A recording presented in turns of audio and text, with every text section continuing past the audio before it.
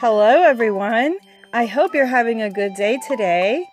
If you have a Life of Fred book in Apples, go ahead and pull that out now and you can follow along. We're going to be on page 101 and that's chapter 15.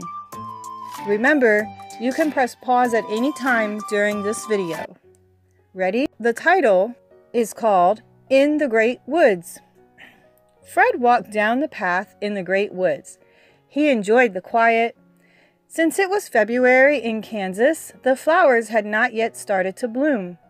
Four months from now, it would be June, and the great woods would be filled with flowers.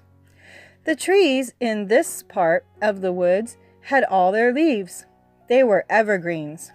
Fred has seen the Wizard of Oz movie, in the movie, Dorothy and her friends were in a dark forest and they were afraid of lions and tigers and bears. Fred thought to himself, but that was just a movie. This is real life.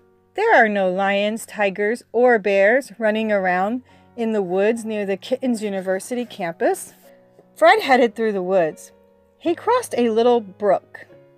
He climbed up a little hill and stood at the very top. There was a wonderful view. He raised his arms and was about to start singing, and then he noticed something. He decided to be very quiet. He hoped the lion would not notice that he was standing on its head. he waited five minutes. It was now five minutes after three o'clock. The lion didn't move. Fred didn't move. A butterfly landed on Fred's head and then it flew away.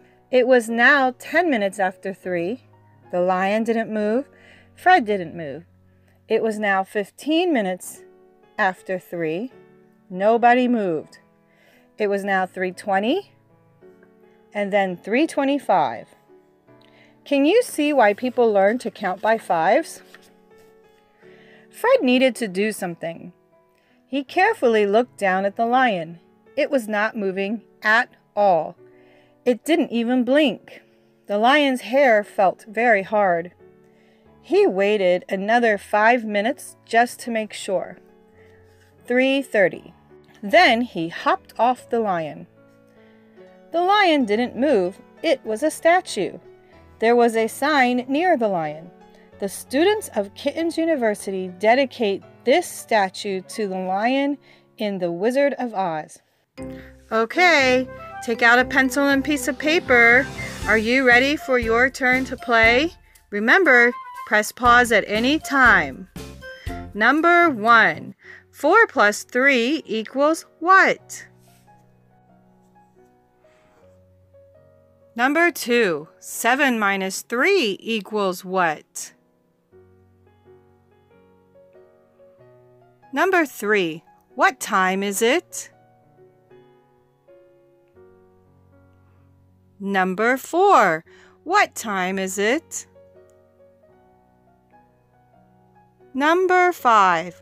What time is it? Okay, here are your answers.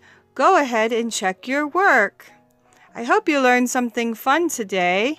Please join me tomorrow for chapter 16.